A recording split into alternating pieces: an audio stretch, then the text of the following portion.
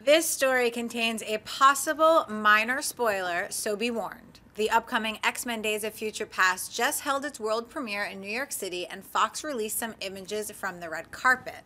To no one's surprise, actors James Marsden and Famke Janssen attended the premiere. However, this cast photo for the film was released showing Marsden included.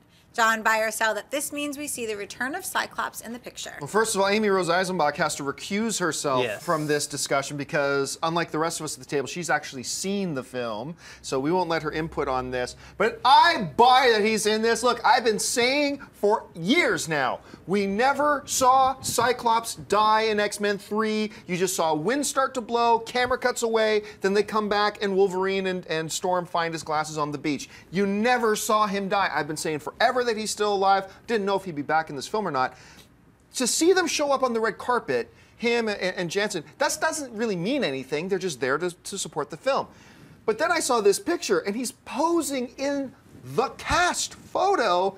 Yeah, I, completely believe he's in this film, Dennis. I buy it, and I'm gonna predict that that he's gonna show up in the post-credit scene as Cyclops with Havoc, with Mr. Sinister, leading into Age of Apocalypse. And if you've read Age of Apocalypse, you know why. Okay, I'm starting to feel that joygasm come back. You're just saying that. Okay, Right. you can't control yourself, Amy Rose. She wants so bad to say I'm something. bursting the seams. I. Schnepp. Can't believe Amy Rose totally saw X Men. I'm jealous, but we're gonna see it in two weeks, guys. So, uh, yeah, we were talking about James Marsden coming back. A little, a little bird, a pal who's friends with Singer, told me that uh, this isn't a spoiler, but uh, Singer was really excited to work on this third X Men movie of his because he always he hated what happened with X- with X Men Three, and his toys all got kind of jumbled up, so he wanted to put his toys back together. So, with that in mind, you know, I was like, all right, Marsden. Well, just just not to keep you guys thing, Amy Rose, in one sentence, did you like X Men Days of Future Past? It was perfection. So a lot So of good. Like everything you want it to be more. I'm not going to reveal anything. I want you to experience it firsthand.